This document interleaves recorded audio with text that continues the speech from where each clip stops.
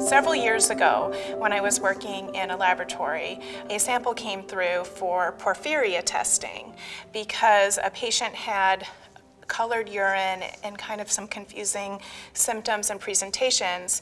And accidentally, the doctor ordered a stool test, but we had received a urine sample. Before I went to talk to the doctor, I paused and went to go look at the sample. It was black, flocculent, kind of looked like charcoal suspended in the urine, which isn't a typical presentation for porphyria.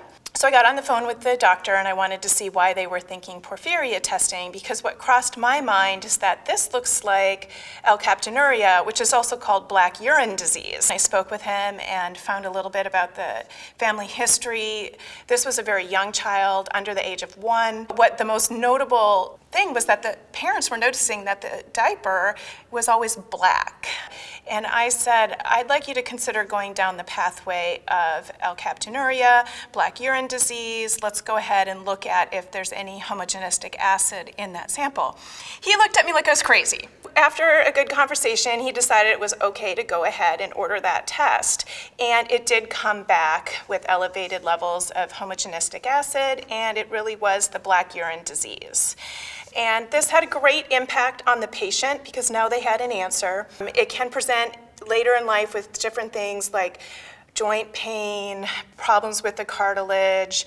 You can modify someone's diet, put them on a low protein diet. It helps them understand and plan for that patient's care. But also, since this is an inherited disease, they were able to go back and test family members. So one of the nice things about this story is not only did we help with that particular patient with their medical condition and helped educate their family members and diagnose it in other family members, which would then allow them to improve their care, it improved my relationship with that clinician. We became a problem solving team. And that impacted other people in his practice because when he had difficult cases, he'd pick up the phone, we'd brainstorm, and I do believe we got to the solution sooner. So this one case led to the development of a really large collaborative relationship that impacted many. I'm Dr. Carmen Wiley. Um, I'm a board certified clinical chemist and I work for Roche Diagnostics and I work in medical and scientific affairs and my specialty is cardiac markers.